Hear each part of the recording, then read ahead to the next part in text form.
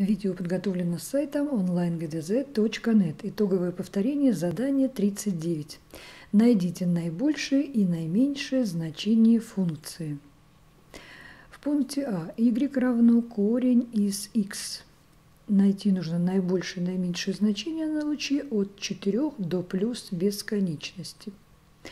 Функция y равно корень из x возрастает во всей области ее определения определена функция на луче от нуля до плюс бесконечности.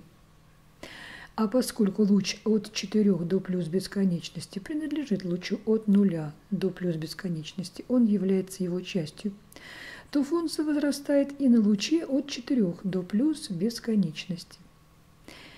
Возрастающая функция – это функция, для которой большему значению аргумента соответствует большее значение функции – значит y наибольшее должно соответствовать f от большего значения, а это бесконечность. Но поскольку большее значение не определено, следовательно, y наибольшее не существует. Меньшее же значение функции соответствует меньшему значению аргумента. y наименьшее равно f от 4. Это будет равно корень из 4 это будет равно 2. Пункт Б. y равно минус корень из x плюс 2.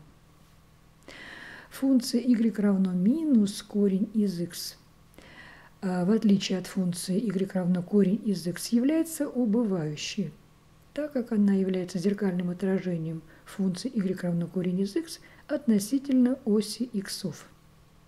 Данная же функция – это функция y равно минус корень из x, только сдвинутая влево на 2 единицы. Таким образом, данная функция убывает во всей области ее определения. А область определения данной функции от минус 2 до плюс бесконечности луч. Определить нам нужно наибольшее и наименьшее значение на отрезке от 0 до 3 этот отрезок принадлежит области определения. Следовательно, функция убывает и на этом отрезке. Для убывающей функции верно следующее. Большему значению аргумента соответствует меньшее значение функции.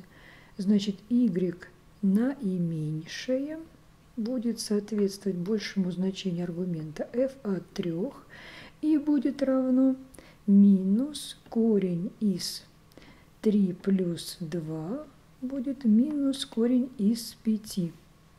А y наибольшее будет соответствовать меньшему значению аргумента, то есть f от нуля. Это будет равно минус корень квадратный. 0 плюс 2 под корнем, это будет минус корень из 2. Пункт В. y равно минус корень из x плюс 4.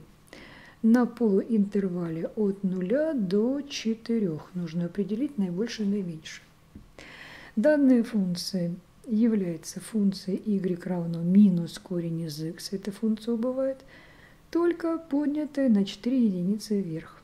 Значит, эта функция убывает тоже Область определения функции от нуля до плюс бесконечности. Функция убывает на луче от нуля до плюс бесконечности. Следовательно, убывает и на полуинтервале от нуля до 4. Функция убывает, значит, большему значению аргумента соответствует меньшее значение функции. Тогда y наименьшее будет равно f от 4 это будет равно минус корень из 4 плюс 4. Это будет равно минус 2 плюс 4 плюс 2. А y наибольшее соответствует меньшему значению аргумента. То есть нужно было бы написать f от нуля. Но 0 не входит в рассматриваемый полуинтервал, поэтому y наибольшее не существует. Пункт Г. y равно корень из x минус 3 плюс единица. Эта функция является возрастающей, так как график ее можно получить из графика функции y равно корень из x путем сдвига его на 3 единицы вправо и на 1 единицу вверх. Эта функция возрастает во всей области ее определения, а определена функция на луче от 3 до плюс бесконечности. Определить нам нужно наибольшее и наименьшее значение на отрезке от 6 до 9. Функция возрастает, значит, большему значению аргумента соответствует большее значение функции, значит, y наибольшее равно f от 9, а это будет равно корень из 9 минус 3 плюс 1. Это будет корень из 6 плюс 1.